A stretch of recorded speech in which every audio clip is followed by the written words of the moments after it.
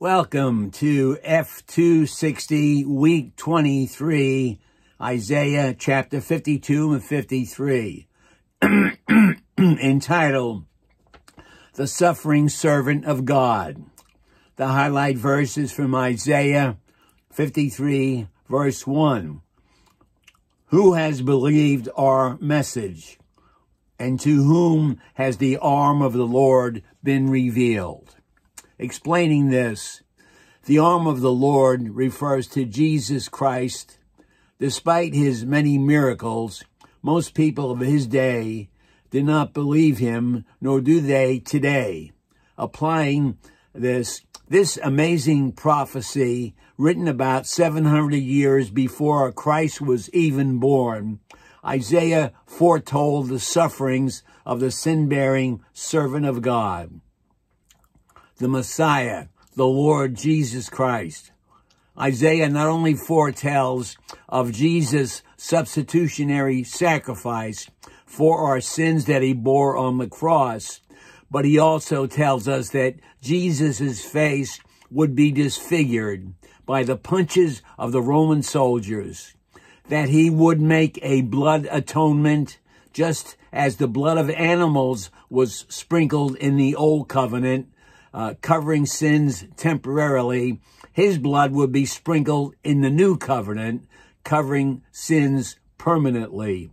He would be widely rejected. They chose a murderer, Barabbas, to be released instead of him.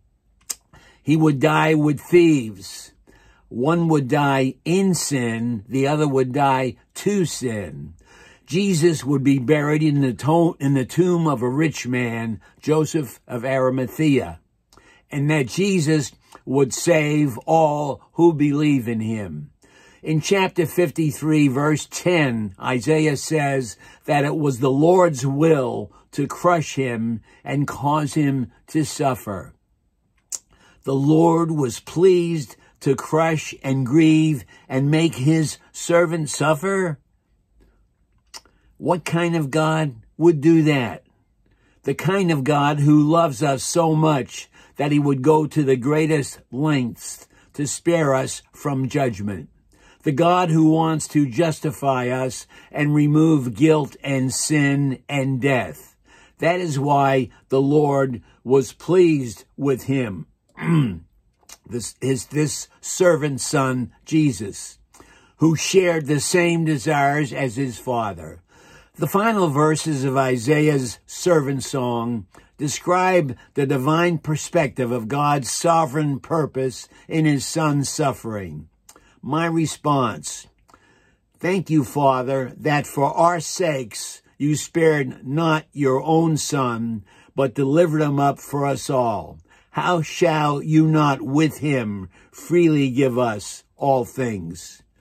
That all that we are, all that we have, all that we hope to be is in and through your Son, Jesus Christ, in whom we live and move and have our being.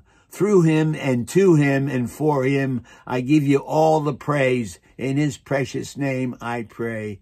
Amen. God bless.